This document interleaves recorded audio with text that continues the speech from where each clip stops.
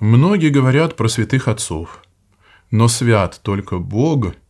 Почему не пресвятые отцы, а именно святые? Есть же Пресвятая Дева Мария. Как разобраться в понятиях святой и пресвятой? Явно у человека какая-то интуиция о том, что кроме Всесвятого, Всеблаженного а, Божества – есть, он об этом слышал, масса святых, но каким образом? Они святы, если э, по слову самого Господа э, к юноше обращенному, что называешь меня благим? Никто благ, никто же благ, только мы един Бог, э, ибо совершенство Ему принадлежит, и точно. Но для того Бог и воплотился, для того и пришел в этот мир, и пострадал за грехи наши, и воскрес, и Духа Святого э, не спасал от Отца, создав, родив Церковь Святую, чтобы сообщить нам присущую Ему святость. Называется это действие освящением. Мы призваны в таинстве крещения осветиться, просветиться, приобщиться к божественной жизни и, будучи сами действительно существами тварными и падшими, и не безгрешными даже после крещения, мы, тем не менее, это освящение призваны хранить, поддерживать, приумножать. Каким образом? Исповедуясь, э, в исповеди прощаются грехи и Таким образом, душа очищается от препятствующих нашей святости, э, нечистот греховных. А апостол Павел честно говорит, «Сия есть воля Божья о вас, святость ваша». В высшей степени мы сподобляемся этой освященности, приобщаясь святых христовых тайн. Господь повелел нам быть участником этой божественной трапезы, э, общниками его тела и крови.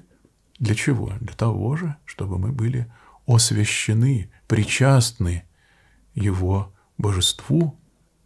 И это как раз в высшей степени проявляется в тех, кого мы называем святыми отцами. Э, напомню вам, что никого мы не канонизируем э, или не признаем непогрешимым, только ошибочно так римский папа о себе складывает понятие и других этому учит. А в православной церкви, даже именуя патриарха э, Московского и всей Руси святейшим, указываем прежде всего на высоту его архиерейского служения, ибо он является первосвятителем э, стольного града, главенствующего над прочими э, регионами и епархиями поместной нашей русской церкви.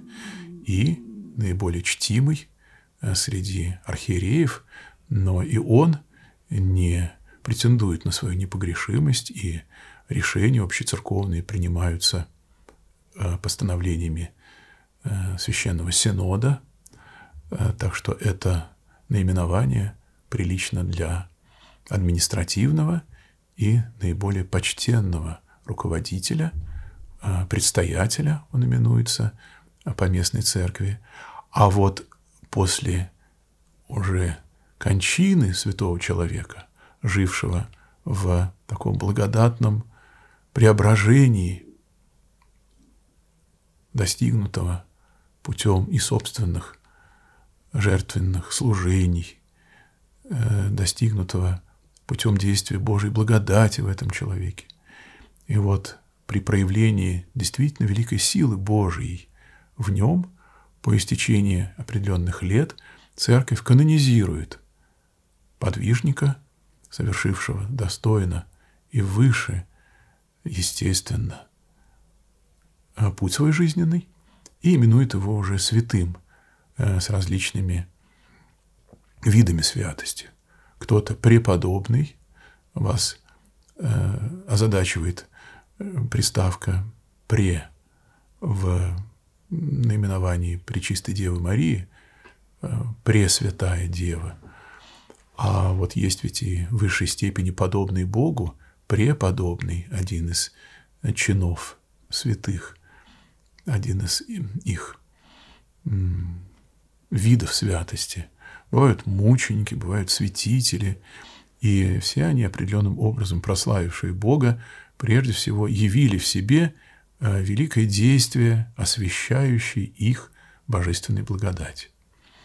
Так апостол Павел говорит, не знаю, что я не сотворил великого среди язычников, впрочем, не я, но действующий во мне Божья благодать. Святой Павел святой, он свят тем, что сердце свое собственное открыл для великой силы Божьей, действующей в нем.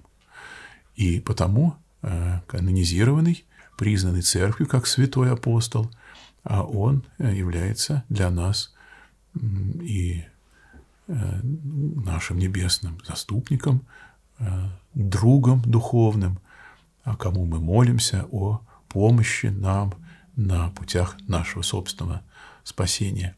Почему Дева Мария пресвятая? А по причине высшего и недостижимого ни для какого святого э, единства с Господом в связи с вышеестественным ее избранничеством, стать вратами вхождения в мир Спасителя нашего, послужить э, своей плотью причистой Боговоплощению, ибо именно от нее и ни от кого другого воплотившееся второе лицо Пресвятой Троицы, Бог Слова, заимствует человеческую природу, потому она не только совершенно предана душой, своей волей Богу, но является и э, по плоти Его Пречистой Матерью, что э, в результате дает ей э, ни с чем несравнимую святость, сообщает ей освященность, недостижимую ни для какого человека и даже для бесплотных сил. Потому именуется она Пресвятая э, в высшей степени э, освященная и вселением в нее Бога Слова, и той, того служения, которое, материнского, которое она воплотившемуся Богу принесла, и э, своей совершенной верностью, в результате чего и почитается она царицей небесной в церкви и воспевается как Пресвятая и Пречистая Дева. Внеси свой вклад, оцени, подпишись и поделись этим видео.